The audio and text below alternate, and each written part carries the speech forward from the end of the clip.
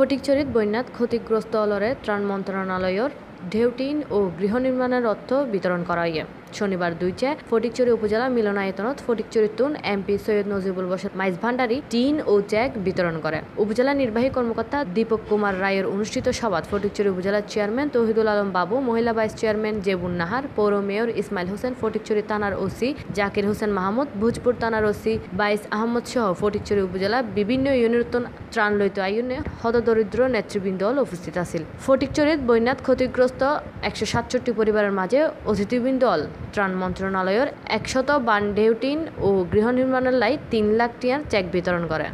জেডা খাইয়ন জেডা তান ভাইয়ন বোট গেড়ে দিয়ন দয়া হইরা আর কিছু না হইলাম অভাব আছে কোন মানুষ থাকুন আমার না আবার দানা সরা দানা সরাতে ভরি দেবেন। ডেক্স news C plus TV.